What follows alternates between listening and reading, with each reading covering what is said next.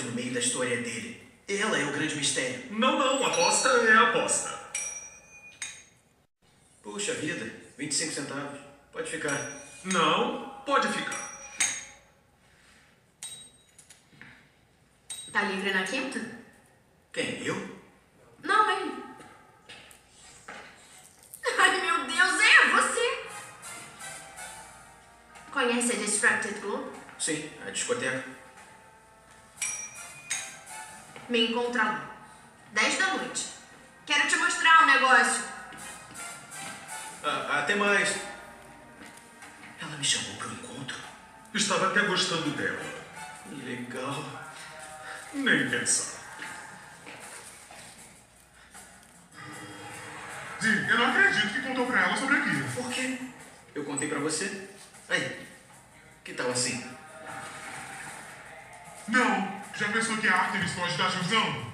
Aí, cara, ela me deu uma dica, de repente eu tô usando ela. Manda um estilo mais. thriller, Não. punk, Não. Duran Duran. Não. Parece que eu tô forçando a barra. Sim! Escuta o que você tá falando. Você tá tendo super cyber crush dessa garota. Ela tá hackeando seu coração pra controlar sua mente. Ah, já sei. Bancaruba Zai? É, Jura?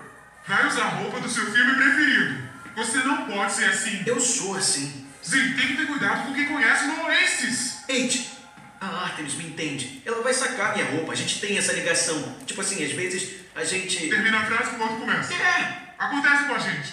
Comigo e com você. é, sei disso. Mas é porque somos melhores amigos, cara. Ela pode ser um cara também, cara.